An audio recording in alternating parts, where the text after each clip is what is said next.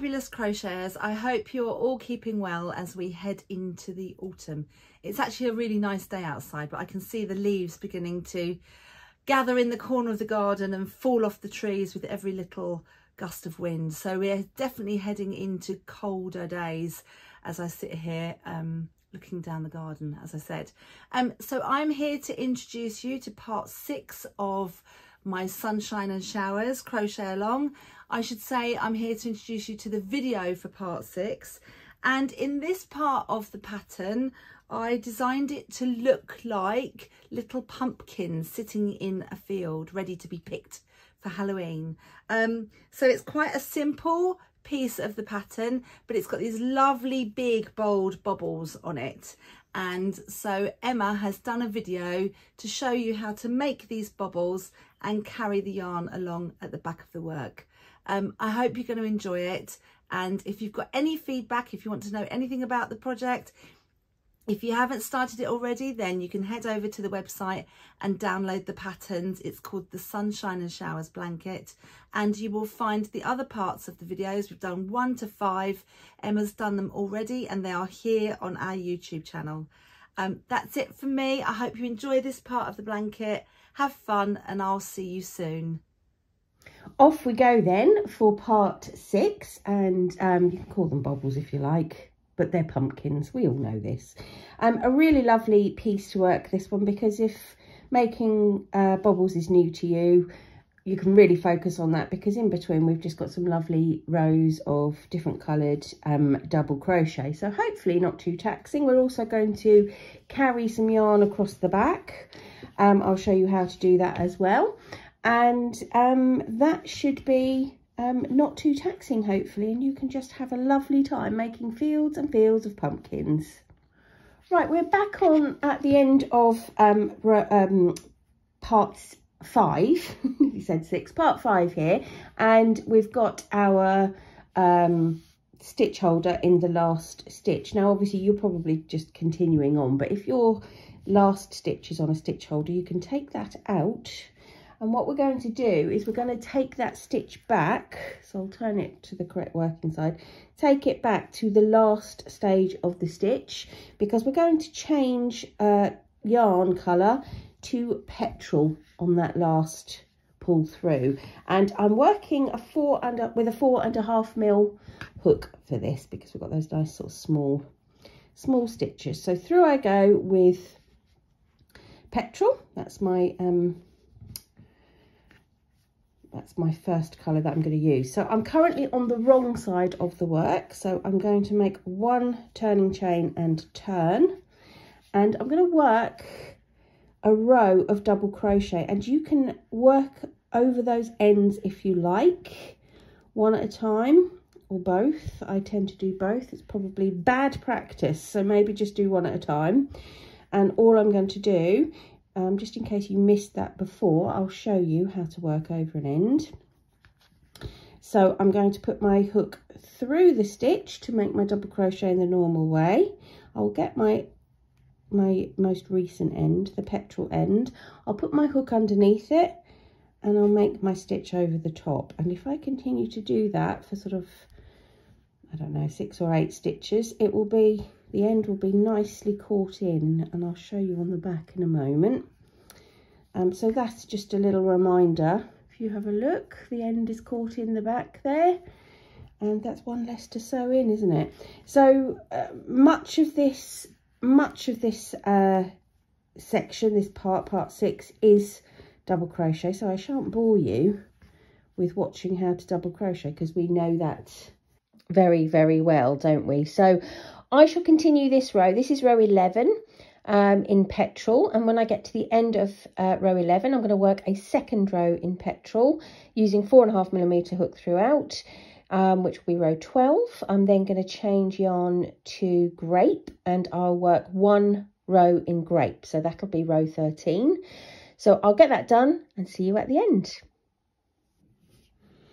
Right then, I've just worked the end of row 13. So you can see I've got my two uh, petrol rows in there and one row of grape. And we are currently on the right side of the work. Um, I'm going to make my turning chain and turn to the wrong side. Bobbles are made on the wrong side of the work. So, but don't worry, don't worry about that because they sort of happen naturally and work really, really well. Um, so you just need to remember that uh, when you're on a bobble row, you need to be on a wrong side row. So we're now going to start row 14. Okay, still with grape, but we've got gold waiting in the wings, ready to make those um, pumpkiny bobbles so that they've got a lovely contrast. Um, I'm going to start by making one double crochet in the first four stitches of these row of this row. So one, two, three, and four. And on the next double crochet, so double crochet number five, I'm going to do what we normally do when we change colour, which is to say I'm going to pull through my colour, my new colour on the last pull through. And I can't find the end of it. Hold on. Talk among yourselves. Here we go. So I've got the gold here and I'm just going to pull through a loop on the last pull through of that fifth double crochet. All right, so we are not disconnecting, we're not cutting grape, we're leaving that, but we've now got gold attached and ready to work with. Right, this is where we need to be a bit wary of our ends. Our ends need to stay on this side of the work. Okay, we don't want them going behind the work because they will show on the front side. This is the front side, remember, the right side, and we don't want, we want all the workings to be kept on this side. So any yarns you're not using, just keep to the right, keep them out of the way. So we're now going to make a bobble and the way we're going to make a bobble is by we're going to go into the next stitch first of all. So before you do anything, just make sure you can identify the next stitch. Where I've got these yarns leaning to the right, it can sort of obscure a bit. So just make sure you're working into the next unused stitch. Bobbles are made using five incomplete treble stitches. So if you've ever treble two together or anything like that, you'll know what I mean by an incomplete treble stitch. You just work up to the very last stage, but don't work the last stage. Let me show you what I mean. So we start in the normal way with the yarn around the hook. And I'm going to go into the next stitch. A little bit tricky with all these ends to start with, but it does get a bit easier. Okay, so I will pull up a loop and go through the two loops on the hook. That's the first stage of my treble. Now, normally I would yarn around the hook again and go through those last two loops, wouldn't I? But I'm not going to do that. I'm going to leave that incomplete, and that is what I mean by an incomplete treble. So that is number one. Here's number two, going into the same stitch, yarn round and through the first two loops, but don't complete the stitch. So I've now got three loops on the hook. And again two loops and leave it incomplete. So then I have four on the hook. And this is number four. Five loops on the hook and number five. So you will end up with six loops on the hook in gold six gold loops on the hook. That's what you're aiming for with your bobble I'm going to drop the gold yarn now, again keeping it on this side of the work, pick up the grape and pull through all of those gold loops with the grape. And I did you see? I just gave that a little pull, not too tight, you don't want to lose um, the first stitch at the top there. Just give everything a little pull and before we look at the front side, I'm going to do a couple more stitches just to really place that nicely. So again, I'm pulling the, the gold yarn just slightly to the right because I want to expose the next unused stitch. And if you look like that, it can, it can be hidden. So just move that out of the way so you can see the next unused stitch. We don't want to lose any stitches on this row. I'm back with grape and I'm going to make my double crochet in there just for now just so you can see. When I turn the work there is our beautiful first bobble forward slash pumpkin. Okay so go back to the front again. Let's have a look at our pattern repeat. So I've done one double crochet. As I said please be careful to make sure that goes into the correct stitch. I'm going to do two double crochet and three double crochet. So three clear double crochet nothing happening with those at all. And what we're going to do we want to carry our yarn across the back our gold yarn across the back. Here's a little sample piece um, with yarn carrying across the back. Okay and you can just see that the the yarns are sort of skipping behind the stitches and from the front um, you can't really see them at all. So that's what we're achieve. We're uh, we're going to try and achieve here. And how we're going to do that is we're just going to catch this yarn in. So I've done the three um, normal double crochet. I'm now going to bring the gold yarn to the left and put my hook underneath it before I make my next double crochet. So when I go into the fourth stitch to make my double crochet, I have caught that gold yarn in. Can you see? It's caught there. It's starting to um, sort of run across the back of the work, which is what we want. Right, so two more. So so um, this is row, this is number five and six.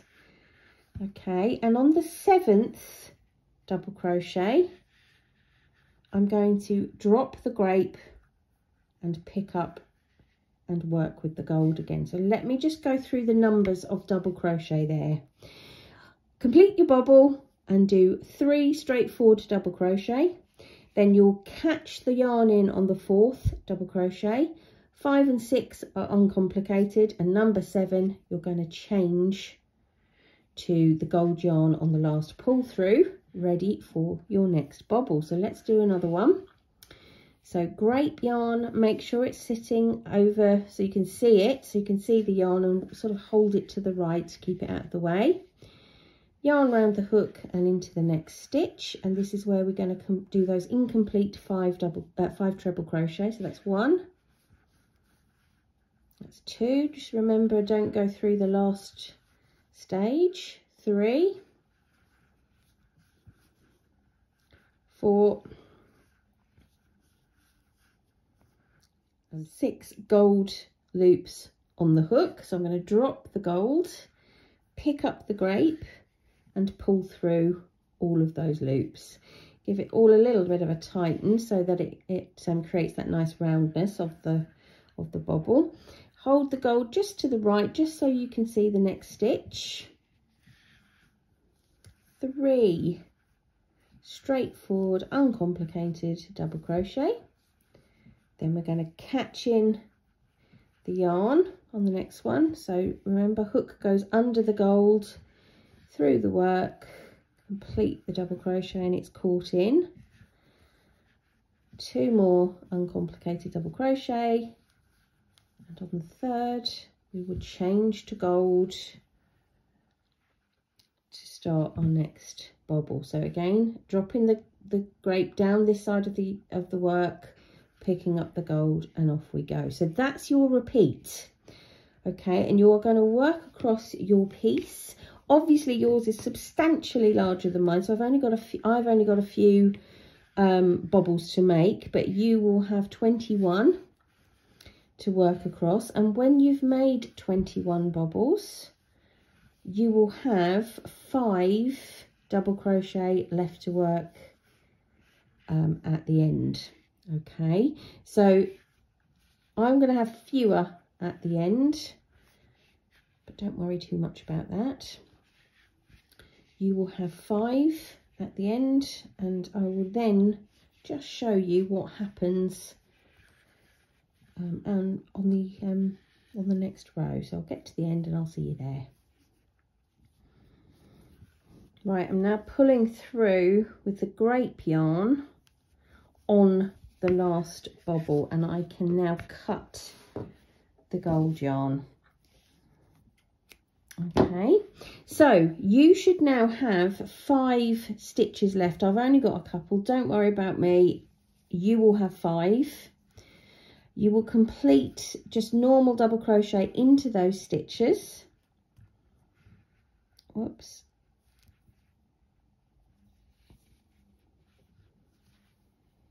And then you're going to make your turning chain.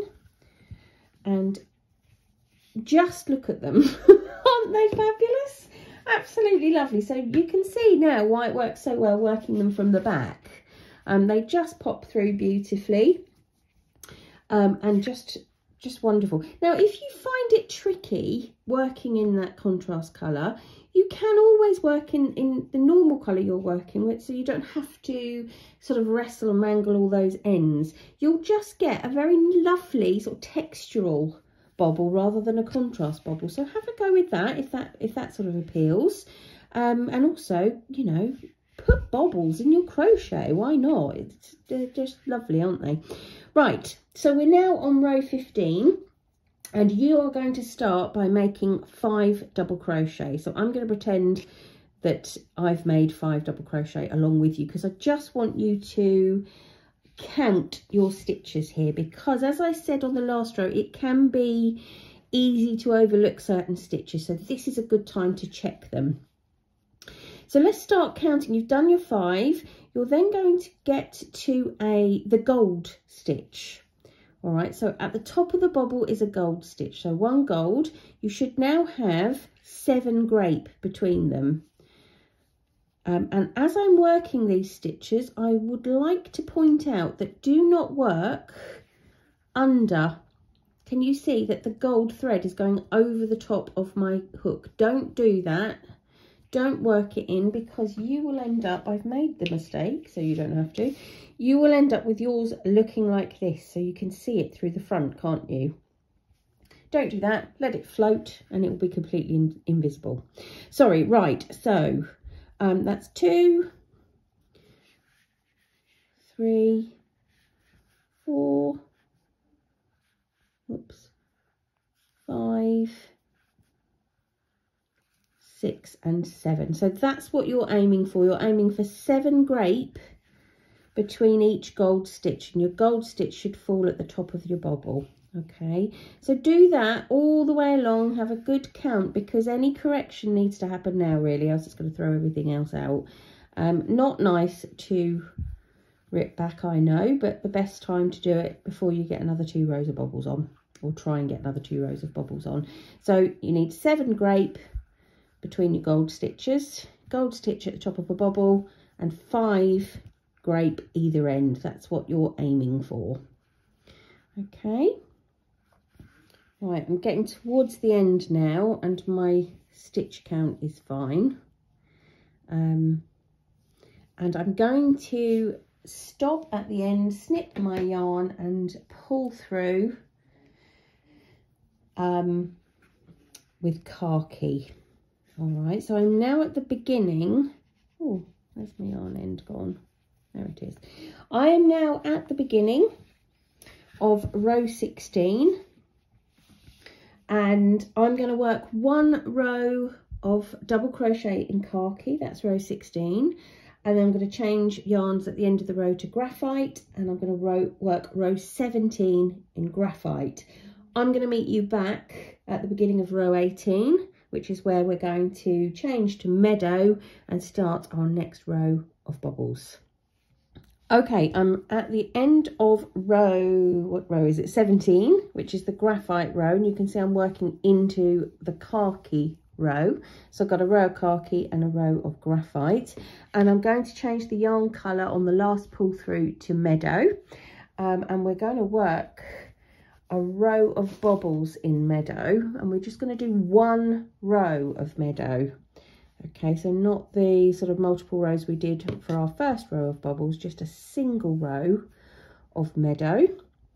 So I've done the pull through there in meadow. I can now cut khaki sorry graphite cut graphite for now. And we're going to work our bobbles um, so we're on row, what row are we on? Row 18. We're going to work our bobbles in spice. Beautiful. Right, so same, same thing as before. We'll make our turning chain and the actual pattern is the same insofar as we have seven stitches, seven meadow stitches between our bobbles okay but before we get there we're just slightly different at the beginning and the end of the work we've got um, we're going to start with nine double crochet at the beginning this time rather than um, five. And I'm just going to work over my ends as well. So nine double crochet. There's one.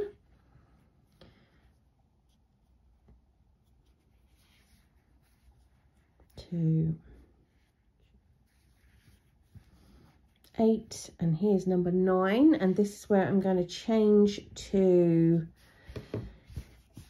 spice uh, on the last pull through. So this is where our first bobble is going to happen. And just a reminder, because we've we've made the bobbles, so we know how they work, but let's just do a couple in spice and see what they look like.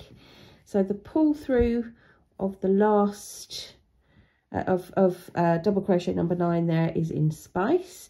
My ends are sitting in at the front of the work here. They're not going to the back because that would make them appear on the right side of the work and we don't want that.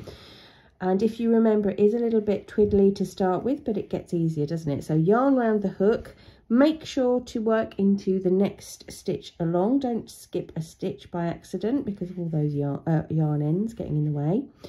And we're just making the five incomplete treble stitches. So that was one, that's two, there's three. Yarn is caught up a little bit there. There we go three four and five. So we've got six loops on the hook.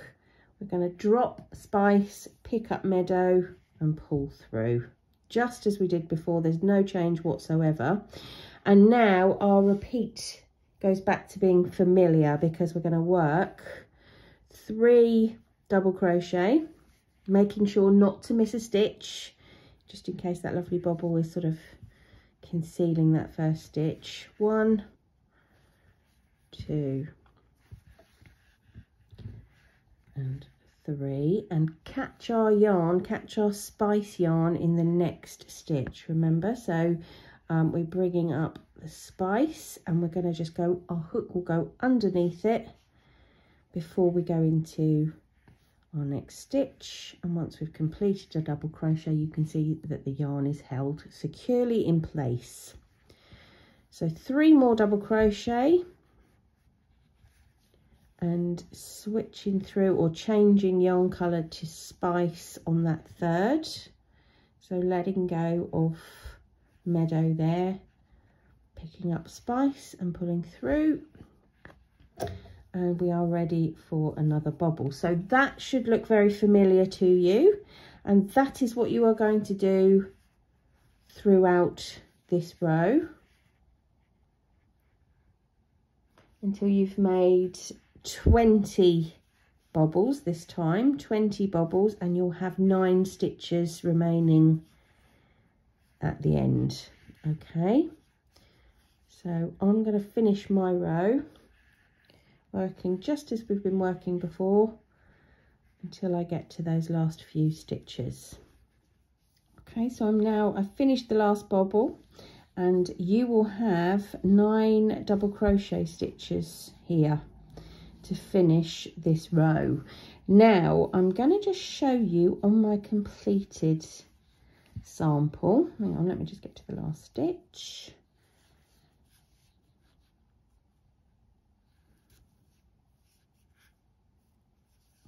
oh, leave that there. Just going to show you that you will see the row of bobbles, the orange or the spice bobbles that are on the meadow yarn. You can see that is a single row, can't you? You can see it's a single um, meadow row. And what we so that's actually the center point of this piece. And now what happens is we just uh, mirror what's happened before. So we worked up to it with khaki graphite meadow and we're now mir mirroring it. So we're going to go graphite khaki back through the grape with the uh, with the identical row of bobbles there, back through petrol and we're also going to put a row of storm blue which is sort of then you can see that whole piece is repeated. So really um, we are now at the point where um, you've got everything you need to complete this um, particular piece.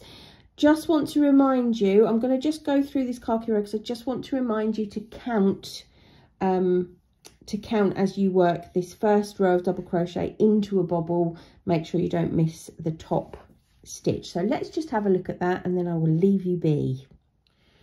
Right, I can now cut meadow. I'm going to pull through with graphite. And again, like I said, I just want to remind you to count your stitches here. So one turning chain, you're going to count nine double crochet to begin with. Okay, I've got fewer, so I'm not going to count those with you because it will just confuse matters. But you're going to have nine here. I'm just working over some ends. Um, and once you've counted those nine, we're back to that familiar, uh, those familiar numbers for our bobbles row. All right, so you count your nine meadows, meadow colour stitches, and then at that point, you should have a spice stitch. All right, this one here, that's the top of your bobble. So one spice. Now you're going to have seven meadow before you get to your next spice. Don't forget, do not work in that end. Make sure your hook does not pick up spice as well or it will show through the front like mine does on my sample. We don't want that. Um, so seven stitches between bobbles. Okay, make sure to count seven stitches between bobbles. Make sure to count one um, spice coloured stitch or whatever colour your bobble is, one of those in the top of it um, all the way along and then your last count of stitches at the other end will be nine. So just give that a good old count, make sure you've got the right stitch number before you move on. And as I said, you're now just going to mirror what has gone before. So from this point, you're going to do your khaki row and then you're going to, um, you're going to go into your grape grape strip or stripe with the, the, the gold bobbles on. So I'm just going to go ahead and finish that and uh, we'll have a look at the two completed pieces together at the end.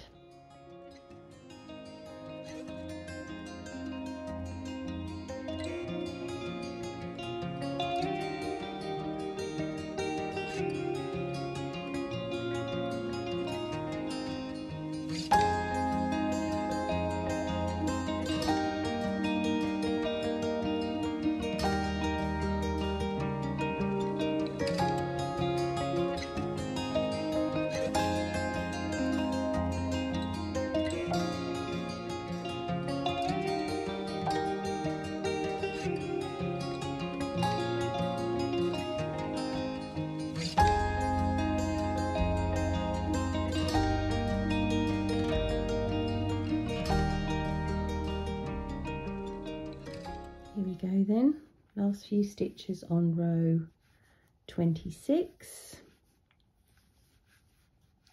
which brings us to the end of part six. So I'm going to cut my yarn and place that last stitch on a holder which is just a safety pin. And then we'll have a look at the two two pieces together. Here's one here's two and we have got some very lovely fields of pumpkins um, which are just perfectly apt for October aren't they? So that was part six. Hope you enjoyed it. Hope you really hope you enjoy making your fields of pumpkins and that you can now use bobbles in lots and lots of crochet projects because they're brilliantly fun to make